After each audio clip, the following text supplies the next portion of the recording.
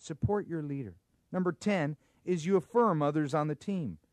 Regardless whether they hit a home run or they strike out, they need affirmation. Well, especially when they fail, they need affirmation. When you affirm others on your team, you're being a team player. Number 11, this is a big one. Take initiative. Teamwork is about taking ownership and jumping in when needs arise. Don't wait to be asked in order to serve. Any volunteer that takes initiative on my team is a blessed leader in our ministry. Number 12, this is a neat sign of teamwork. It's when you develop parent relationships. You see, you express your teamwork when you build relationships with the parents of students in your group. Don't wait for the point person in your ministry to do all the parent work.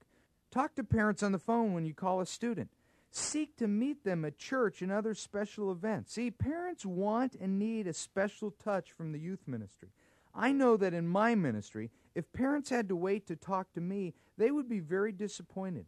My volunteers express their teamwork when they meet parents after programs and talk to them and help meet their personal needs. Parents need and expect ministry from the youth ministry leadership, and you are the perfect person to help in that expectation. Number 13, become a student. Just by the fact that you're listening to this tape tells me you're a leader.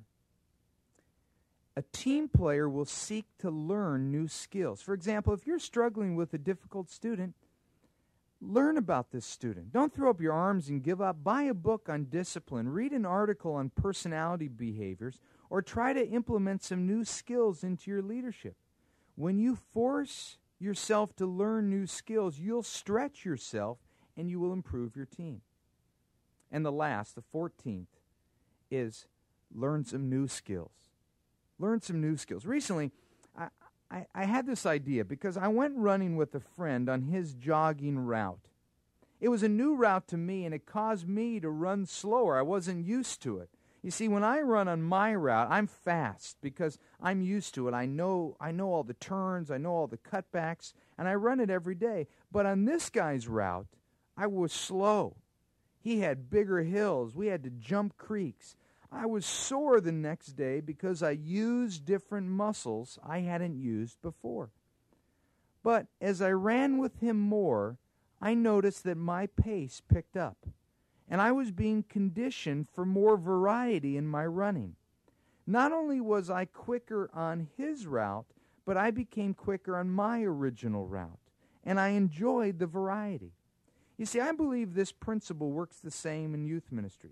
When you and I try to develop some new skills, we will become more valuable and a stronger member of your team. Let me ask you a question.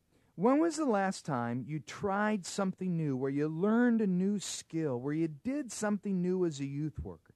For example, if you're someone that doesn't teach, maybe the new skill would be to raise your hand and say, hey, let me teach at that program. Or if you are a teacher, when was the last time you did something new like using a game in your teaching, or an object lesson, or a creative teaching technique? Maybe learning a new skill would be to plan the next retreat Maybe a new skill would be to talk to students that aren't the type of students you would normally talk to. Maybe you need to try to answer a question on your own before asking someone else about it. Whatever it is, try to learn some new skills.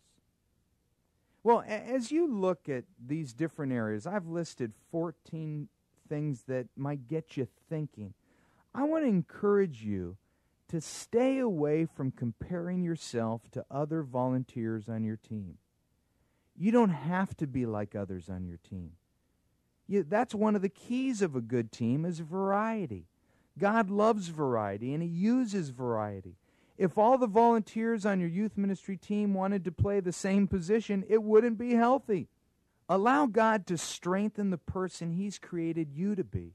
And don't worry about being like someone else. We see this in 1 Corinthians. In the message paraphrase, it says, A body isn't just a single part blown up into something huge. A body is all the different but similar parts arranged and functioning together. I like that. And by the way, there's that word again together. That's teamwork. Together, everyone achieves more. I hope these few minutes have given you something worthwhile to think about, and that you've been given some ideas that might help you in your pursuit to be a team player. Remember, teamwork isn't easy.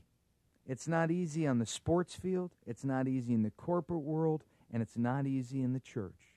It takes work on everyone's part.